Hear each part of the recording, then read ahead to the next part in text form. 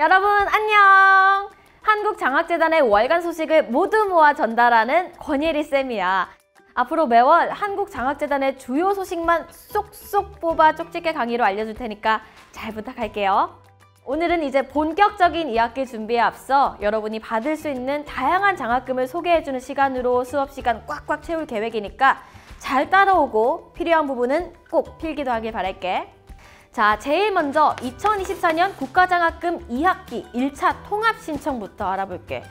아니 근데 국가장학금 신청은 들어봤어도 통합 신청은 뭐지? 하는 친구들 있지? 아무것도 아니야. 일단 국가장학금은 인류형, 이유형, 다자녀, 지역인재 장학금으로 나뉘는 것쯤은 이제 다 알고 있을 거야. 근데 이 네 가지 유형 모두 신청할 수 있는 기간이라서 통합 신청이라고 해둔 거니까 혹시라도 뭔가 놓친 부분이 있나 싶어 걱정을 하신다면 그런 걱정을 넣어두시고 신청 기간은 이번 달 20일 그러니까 6월 20일 다음 주 목요일 6시까지 가능해. 근데 꼭 신청해서 끝내는 사람 있더라. 국장 받으려면 가구원 동의도 해야 되고 서류 제출이 필요한 사람은 서류 제출도 해야 돼. 이두 개는 6월 27일 오후 6시 그러니까 그 다음 주 목요일 오후 6시까지 가능하니까 이거 안에서 장학금 못 받았다고 세상 무너지는 소리 하지 말고 잘 기억하고 신청하라고. 마감일은 이따가 쪽지 시험에 내가 낸다. 재학생, 신입생, 편입생, 재입학생, 복학생 등 대학생이라면 누구든지 신청할 수 있으니까 제발 하라고 할 때 하자. 여기서 중요한 거. 재학생은 반드시 매 학기 1차 신청 기간에 신청이 필수라는 거. 꼭 기억해야 돼. 자, 그럼 신청 방법도 당연히 알려줘야겠지. 가장 먼저 한국장학재단 누리집이나 모바일 앱으로 접속부터 해. 그럼 이제 반은 했어. 이제 모든 게 물 흐르듯이 가능할 거야. 근데 로그인 하려면 공동인증서, 금융인증서, 간편인증 등과 같은 전자서명수단이 반드시 필요해. 안 그러면 신청은 고사하고 로그인부터 안 되니까 미리미리 준비하도록 할게. 아 그리고 며칠 전에 국가장학금 예습해온 친구가 나한테 질문을 하나 하는 거야. 근데 이 친구뿐만 아니라 내가 해마다 정말 귀가 아프도록 듣는 질문이 있어. 그게 뭘까? 바로 지원 금액이야. 가장 궁금한 부분일 거라고 생각해서 쌤이 지금부터 자세하게 알려줄게. 일단 국가장학금 인류형은 학자금 지원 8구간 이하 학생들을 대상으로 지원하거든. 기초 차상위 학생이라면 등록금 전액, 1에서 3구간 학생은 연간 570만 원, 4에서 6구간 학생들에게는 연간 420만 원, 7, 8구간 학생들에게는 연간 350만 원까지 지원해줘. 다음은 다자녀 국가장학금, 이것도 8구간 이하 학생들을 대상으로 차등 지원해. 여기서 말하는 다자녀는 대한민국 국적의 자녀가 3명인 가정의 미혼 자녀 대학생이니까 참고하고 지원 금액 바로 말해줄게. 일단 국가장학금 인류형이랑 조금 비슷해. 진짜 진짜 대박인 게 뭐냐면 셋째일 경우 8구간 이하 학생이면은 등록금 전액을 지원한다는 거야. 아, 나도 막내로 태어나서 받아볼 걸 그랬어. 첫째랑 둘째는 조금 아쉽긴 하지만 그래도 꽤 많이 받아. 일단 기초 차상위 학생은 등록금 전액, 1에서 3구간 학생은 연간 570만 원, 4에서 6구간 학생은 연간 480만 원, 7, 8구간 학생은 연간 450만 원까지 팍팍 지원해준다는데 진짜 와 감탄만 나오지 않니? 와 와 와 와 와와 좋은 사람 있어서 쌤이 방금 춤춘 거야. 다음 페이지 넘어가서 국가장학금 이유형 살펴보도록 할게. 이거는 대학에서 자체 지원 기준을 수립하거든. 그래서 국가장학금 신청자에 한해서 학자금 지원 9구간까지 필수 경비 내에서 지원을 해주는 거야. 나름 쏠쏠해. 그리고 마지막 지역인재 장학금. 이 장학금은 비수도권 지역 고등학교를 졸업하고 비수도권 대학에 입학한 학생을 위한 장학금이야. 기초부터 9구간 학생에게 매 학기 등록금 전액을 지원하지. 신규 선발자와 기선발자 심사 기준이 다르니까 자세한 건 한국장학재단 누리집을 참고하라고. 국가장학금 이해 안 되는 친구 있으면 나중에 질문 따로 하러 오고 댓글로 남겨줘도 좋고 다음 단원 국가근로장학금으로 넘어가 볼게. 다들 국가근로장학금은 아마 친구들이랑 얘기하면서 근장이라고 많이 불렀을 거야. 아마 대학생이라면 국가장학금만큼이나 많이 기다리는 걸로 아는데 이것도 쌤이 자세하게 알려줄게. 일단 이것도 6월이 신청 마감이야. 같은 날이야. 6월 20일 오후 6시. 이것도 국장처럼 재단 누리집이나 모바일 앱에 접속하면 되고 대한민국 국적자로 국가근로장학사업 참여대학의 재학생이라면 누구든지 가능해. 이거는 국가장학금과는 별도로 또 받을 수 있는 거니까 어떻겠어? 경쟁률이 치열하겠지. 그러니까 빠르게 잘 준비하는 게 좋아.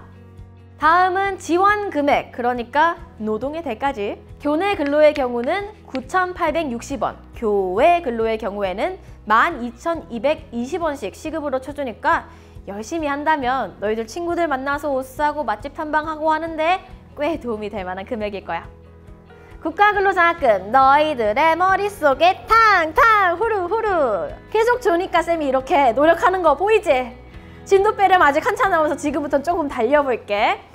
자 다음은 법학전문대학원 취약계층 장학금 빠르게 살펴보자. 신청 마감은 6월 27일 오후 6시까지 이것 또한 한국장학재단 누리집이나 모바일 앱에서 할 수 있고 법전원 학생이라면 누구든지 가능해. 지원 금액은 기초생활수급자부터 학자금 지원 구간 3구간 이하라면 등록금 전액 지원 가능하고 4에서 6구간은 학자금 지원 구간에 따라 차등 지원한다는 거 꼭 기억해 주길 바랄게. 다음 페이지 넘기면은 고교 취업 연계 장려금 신청이 보일 거야. 이거는 너희들 동생 보여주면 참 좋아하겠어. 5월부터 이미 진행됐던 건이고 6월 28일 오후 6시까지 신청할 수 있어. 역시나 마찬가지로 재단 누리집이나 모바일 앱을 통해 신청하면 되고 학생 1인당 총 500만 원을 1차와 2차로 분할해서 지급을 하는데 고등학생이라고 다 받을 수 있는 건 아니고 대한민국 국적자로 2024학년도 직업계 고등학교와 일반 고등학교 직업교육 위탁과정 3학년 재학생이어야만 해. 이 부분은 밑줄 쫙쫙 그어줄게. 다음은 대학생 청소년 교육 지원 장학금에 대해서 알아보도록 할게. 대학생 청소년 교육 지원 장학금 사업에 참여한 대학의 재학생이 1년에 최소 10시간 이상 활동하면 시간당 12,220원의 근로장학금을 받을 수 있는 장학금이야. 게다가 재단 이사장 명의의 활동 확인서도 겟할 수 있다고. 신청 기간은 2025년 2월까지로 재단 누리집 혹은 모바일 앱을 통해 간편하게 신청 가능해. 혹시 다문화 탈북 학생 멘토링 해본 학생 있을까? 아직 못 해봤다면 한국장학재단을 통해 경험해보는 거 완전 추천할게. 다문화 탈북 학생 멘토링 참여 대학이나 대학원의 재학생을 대상으로 내년 2월까지 계속해서 멘토를 모집할 예정이니까 꼭 많이들 관심 가지고 지원해주면 좋겠어.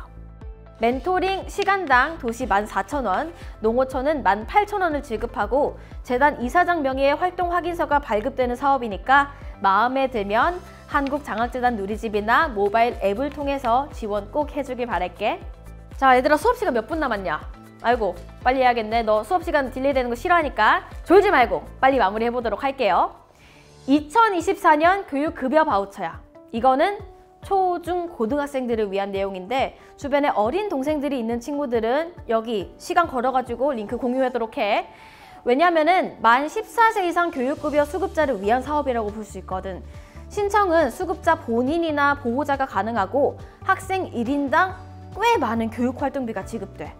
초등학생은 연 46만 1천원, 중학생은 65만 4천 원, 고등학생은 72만 7천 원으로 정말 큰 힘이 될 수 있으니까 많은 사람들이 누릴 수 있도록 정말 널리 알려져야 하는 사업이라고 봐. 이것도 이따가 쪽지 시험에 나오니까 꼭 기억해둬. 컨닝 페이퍼 하지 마. 신청 기간은 2025년 6월 30일까지 신청 시간은 오전 9시부터 오후 10시까지로 제한되어 있으니까 기간과 시간 모두 놓치지 않길 바랄게. 자, 이번 시간의 마지막 주제, 마지막 주제야. 2024년 1학기 저금리 전환대출 신청이야.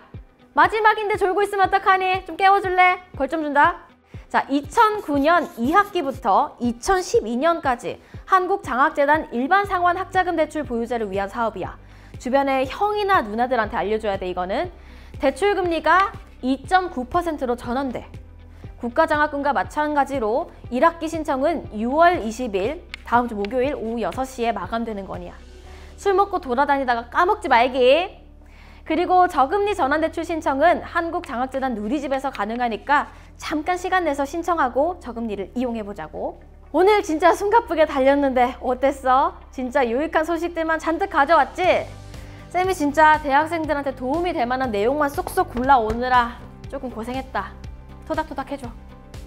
그리고 내가 아까 쪽지 시험에 나온다고 했는데 기억하지? 지금부터 쪽지 시험 칠게. 문제 1번. 2024년 2학기 1차 국가장학금 신청 마감일은 언제일까요? 문제 2번. 학생별 교육급여 바우처 지원 금액은 어떻게 될까요? 문제의 답은 댓글로 꼭 남겨놔. 내가 다 검사할 거야.